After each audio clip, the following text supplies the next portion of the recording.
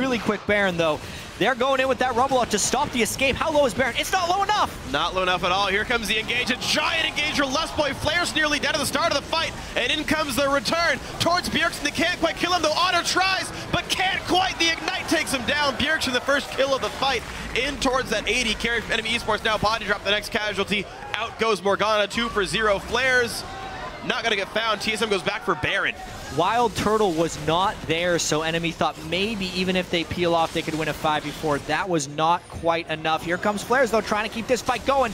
InnoX might jump in as well. Low on health, no smite up. Flaresz picks up one. Bjergsen goes down. Smite, no, it's going to be picked up by Sivir. A couple kills traded back as well. Can Flaresz hard carry this fight? He's taken two. He's going for a third, but the zone is going to keep him safe.